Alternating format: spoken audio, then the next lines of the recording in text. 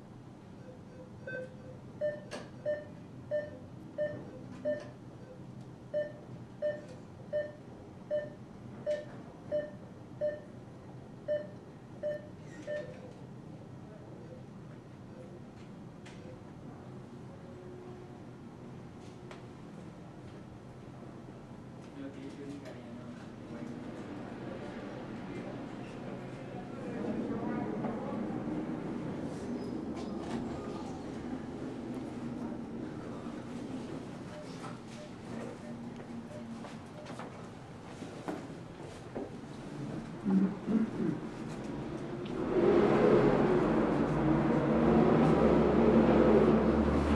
what is this about?